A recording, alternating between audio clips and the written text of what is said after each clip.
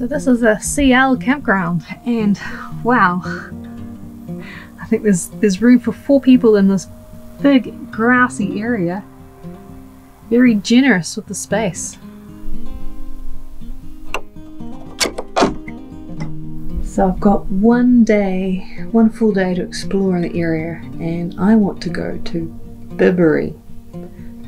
So apparently you can walk from here. So I'm going to have a look at some of their material and uh, figure out what I'm, how I'm getting there. So there's actually two sections to the CL site. This is the other one. Well, I think the road's supposed to be here. How naughty is it to walk through a field like that path there was just full of brambles, full of blackberries blackberry thorns I should say. If I don't go this way it's going to take forever to walk around. I think through there, is that nettle? I want to get through there I think. See, this is a proper track. I just, I don't know, it just seemed very um, impossible to get into from the other end.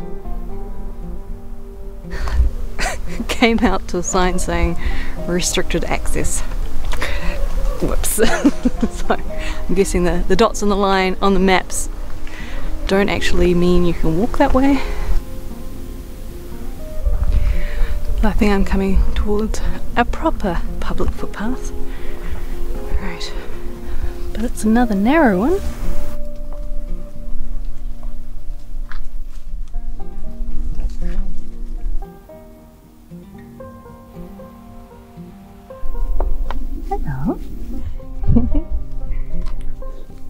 Oh, yeah, cutie.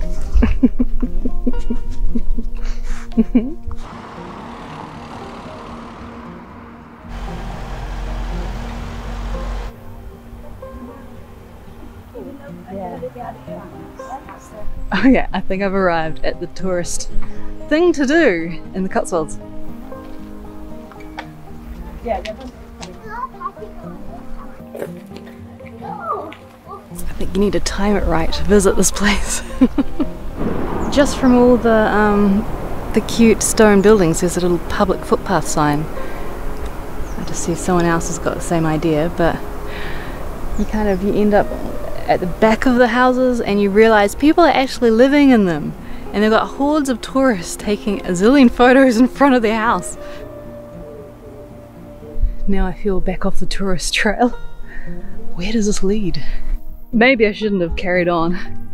I don't know when I'm gonna get back to the village. Does it? Do I go this way? And I've lost all the signs. I just passed a lady walking her dog. It's a beautiful view from here though. Oh good, I wasn't on private land. Can you tell that I I really like getting off the beaten track and coming away feeling like you properly explored an area. That was just fun.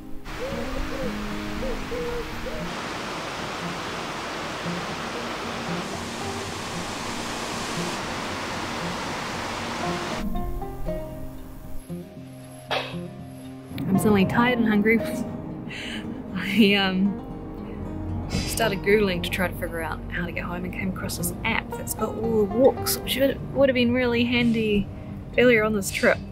So I've, I've kind of got a scenic but quick route to get back to the caravan. It's not quite the uh, the initial plan. As, as usual, I kind of wandered.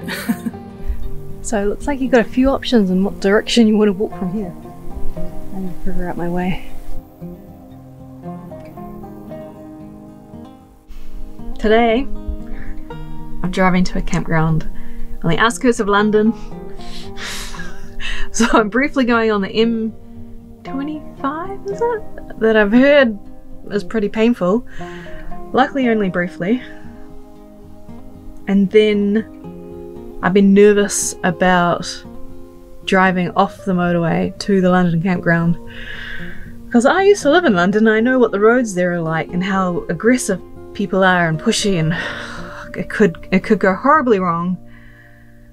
But I've been properly looking at Google Maps and like taking the little man and taking it down to the, the road. So the route Google Maps has suggested to me, I've modified a bit and having a look at what the campground recommends. They recommend one road that avoids going under the railway bridge. So luckily, it will probably only be like a two and a half hour drive, but I want to be there already. So if I was caravanning a lot in the UK, I'd probably end up at all the, the CL campgrounds. They're very peaceful.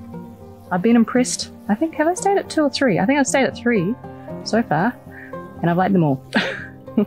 and just to make things fun, I entered in the postcode into the satnav, car satnav, and it's given me a third option for getting there, and it actually looks the easiest stays on a lot of the A roads. It does a funny little bend at the end, but if I zoom in with Google Maps, it still looks good.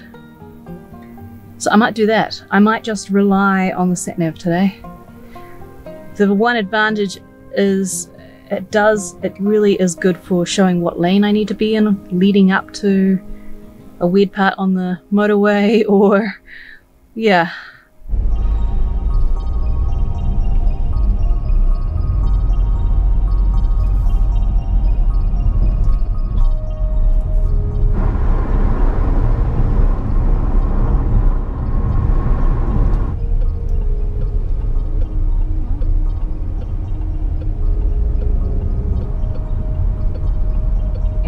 ahead, M25, towards Terminal 4, then, after 350 yards, keep right.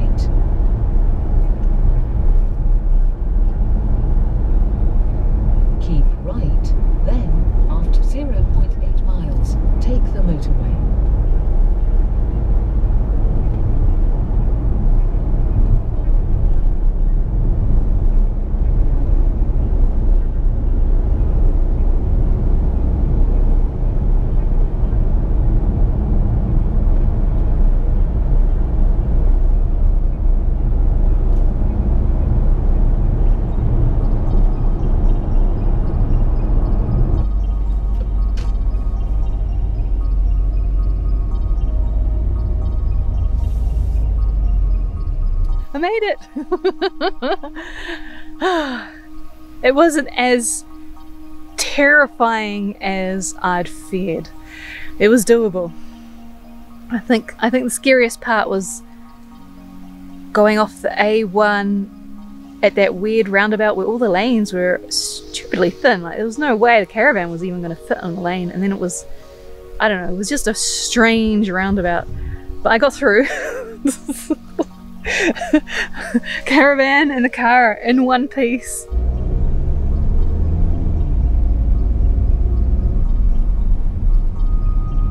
It's pretty peaceful. It's definitely out of the way. It's very hidden. I was driving down that road and it was getting narrower and narrower and I hadn't spotted a sign so I wasn't even sure if I was going to the right place. So it's okay. You can use the postcode for this campground and it takes you to the right place.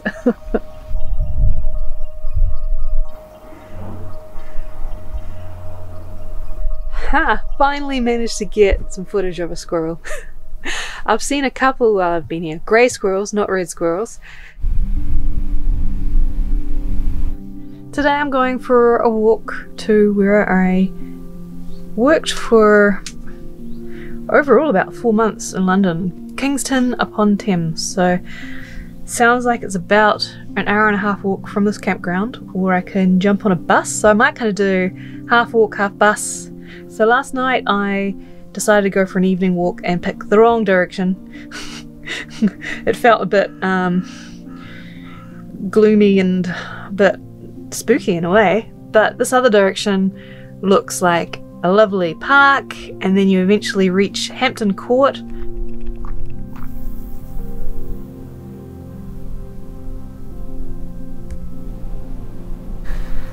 I can't get over the kind of casual history throughout the UK.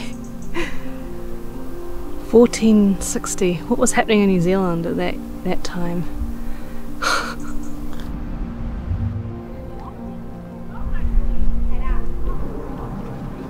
Seesawing between jumping on the bus now for the rest of the way. Any bus that comes along I can take.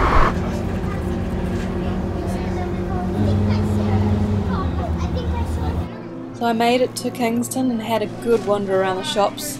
And the markets were open that day too. And then I managed to have a look along the river and spot a couple of canal boats too. Good morning. Now I'm just heading to the train station, heading towards the, the meetup.